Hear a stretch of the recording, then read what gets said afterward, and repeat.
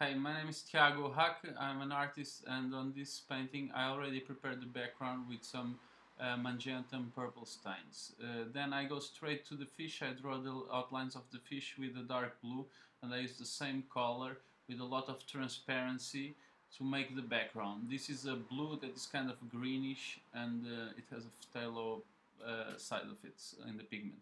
Um, I uh, outlined the fish and I uh, painted all the background with transparency so it looks we are underwater.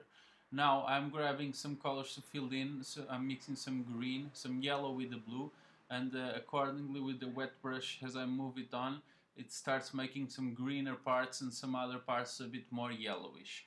I use this to make the scales. Now I grab the black and I'm gonna define the eye area and the drawing areas uh, on the flippers, the darker parts.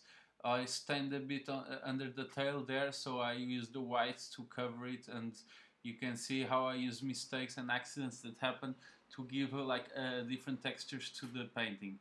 Um, so they play in my favor. Then I'm with the bright colors now, trying to grab and make a middle tone, mixing it still with the wet paint. On my painting technique, I, I paint wet on wet. I leave the, the paint while it's still wet and I draw over it.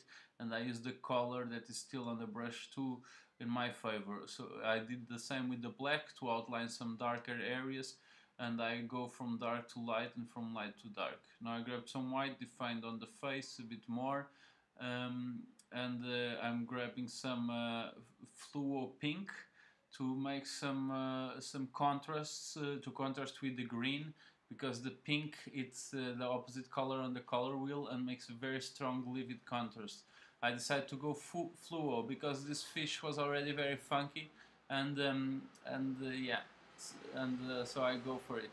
You can see also that I don't hesitate whilst uh, my painting is drying and I need it to dry before I do some details. I start immediately painting another fish that I had already also made the drawing and, and a bit of the background and let it dry.